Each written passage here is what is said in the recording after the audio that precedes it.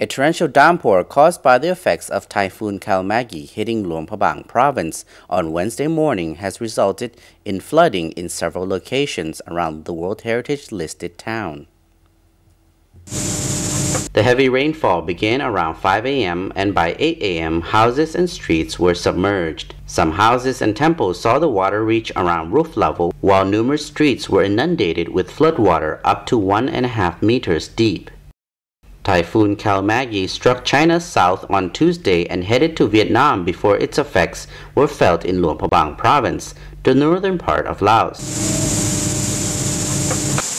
It was an extremely heavy downpour on Wednesday which resulted in the flash flooding happening very quickly.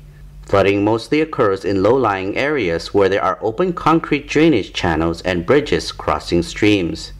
After the incident, the Luang Administration Office gathered officials to assess the damage with the involved sections.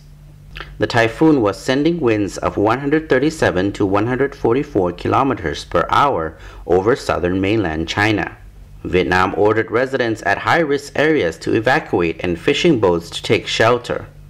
Typhoon Kalmaegi slammed into the northern Philippines on Monday, unleashing flooding and killing at least two people.